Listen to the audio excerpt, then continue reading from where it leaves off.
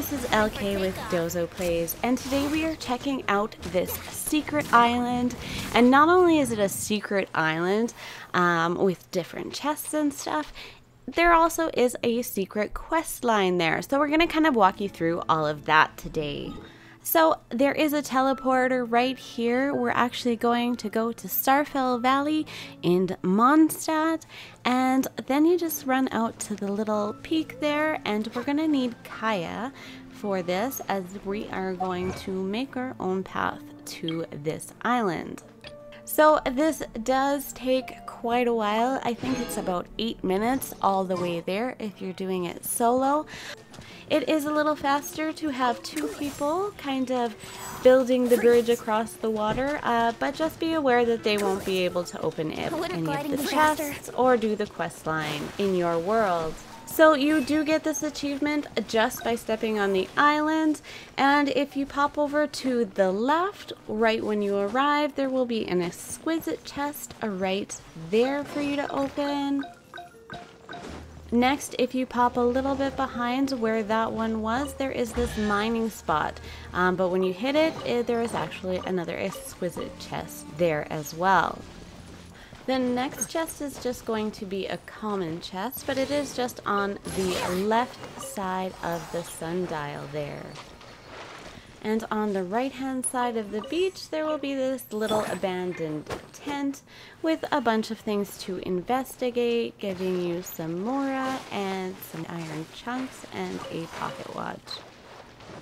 So if you have a venti, getting the Anemoculus is super easy. You just create a wind current here and then pop over and grab it. If not, um, you can grab the little wind spirals to create one. Um, and the precious chest is just going to be hidden down here um, by where you grab the Anemoculus.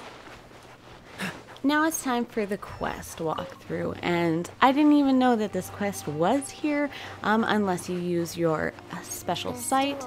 So you will need a wind character for this, and if you went up to the sundial, you might have noticed this little message here, but it kind of mentions that there is some kind of secret here, and that's what we're going to walk you through next. So if you just head over to the right of the sundial, you will notice this large breakable rock, kind of by where the abandoned tent was. So smash this bad boy open and you will find this ragged notebook. Um, if you read the notebook, it will explain that between the time of 2 and 5 a.m., um, there is a strange feeling.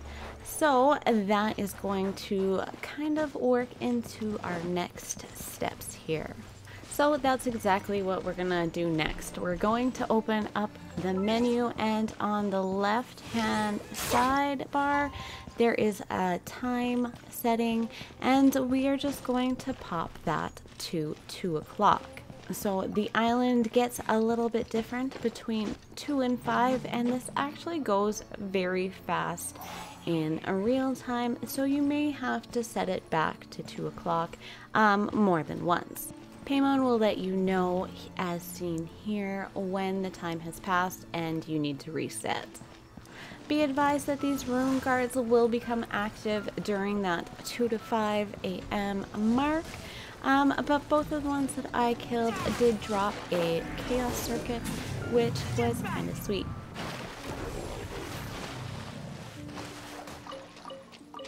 So I popped over to this rock here and did my palm vortex and Paimon pops up saying it seems that the wind can easily be scattered here which also starts this quest here time and the wind so the first cluster of wind that we will need to disperse is just on this pillar here and you will need both Kaeya and a wind character in order to get this one.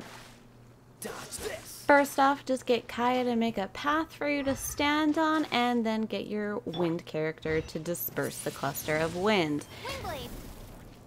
The next one is just going to be located behind the sundial, kind of where you floated up to get the Anemoculus. So same thing, uh, just use your wind move again to disperse the cluster of wind. And the last one is going to be right on top of that pillar there, just to the right of the sundial. So just pop on up there and disperse the last one. This then triggers the Eye of the Storm fight in the center there. We are just going to use our Palm Vortex one more time on this guy to engage. Then it is butt kicking time. Um, just be advised that this boss does hurt a little bit um, if you get hit by any of his moves, as you kind of seen there.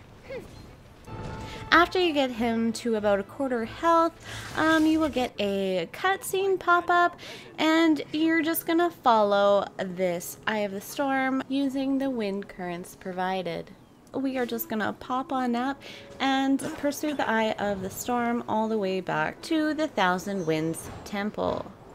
Now that you've made it back to the mainland, we are just gonna pop down uh, where this group of enemies is right here. As you can see, as we get a little closer, there is another sundial here, which is going to finish up the quest here really quick. After you are done dealing with enemies, you can talk to Henry here, um, just getting some more info about the Eye of the Storm. Pop over to his little tent and grab the book there, and then we are going to start up the battle once again. And we're going to do this by, again, just popping the time back to 2 a.m. Using your sight, you can see that there are some of these wind deposits that will need to be scattered again.